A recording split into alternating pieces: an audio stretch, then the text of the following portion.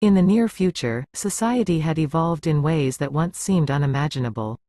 Among these advancements was the creation of the Academy of New Horizons, a unique institution that represented the pinnacle of transformative technology. I found myself at the gates of this academy not out of choice but necessity. My story, like many others, was one of being chosen for a program that promised a new identity, a new life. I was 18 when the letter arrived. It was sleek, with a holographic seal, indicating that my application, submitted by my guardians without my knowledge, had been accepted. The Academy of New Horizons specialized in something revolutionary, the complete gender transformation of young individuals.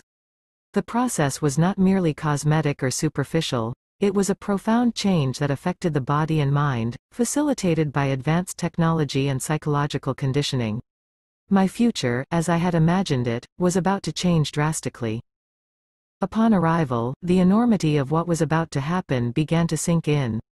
The academy was a sprawling complex, equipped with the latest in medical and educational technology.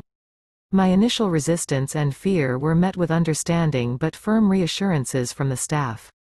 They spoke of a future where my external self aligned perfectly with a new internal identity, one that they assured me would bring harmony and happiness. The curriculum was unlike anything I had encountered. It combined traditional learning with specialized classes designed to prepare us for our transformation. There were courses on femininity, psychology, and the social roles of women in society. Each class was designed to not only educate but also to reshape our thinking and perceptions. The transformation process was gradual. It began with hormone treatments, followed by a series of surgeries that were both bewildering and miraculous.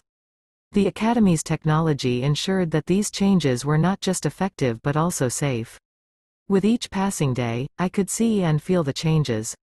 My reflection began to align with the person the Academy promised I would become. But the transformation was not just physical. The Academy's psychological conditioning techniques were subtle yet profound. Through virtual reality simulations and immersive experiences, my mind began to accept and embrace my new identity. Memories of my past life remained, but they felt like they belonged to someone else, a distant relative I once knew well. The most astonishing aspect of the Academy's program was the legal and social integration process. Upon completion of the program, our identities were legally changed. Our pasts were meticulously reconstructed, even our birth certificates reflected our new gender.